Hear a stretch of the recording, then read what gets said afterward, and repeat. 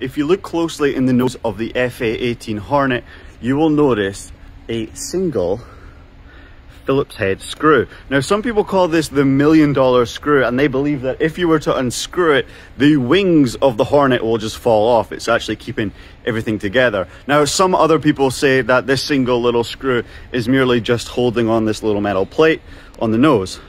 But to be on the safe side, I'm gonna leave my screwdriver in the toolbox.